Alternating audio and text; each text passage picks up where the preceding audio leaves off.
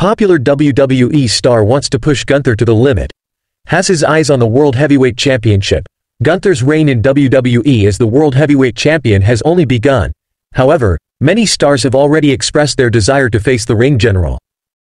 Recently, Baron Corbin showed interest in getting his hands on the new title and pushing the champ to his limit.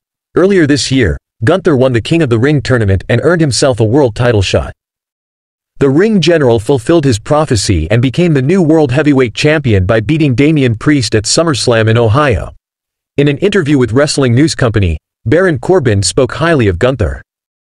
However, the Lone Wolf expressed his desire to push the ring general to his limit and get his hands on World Championship gold for the first time in WWE.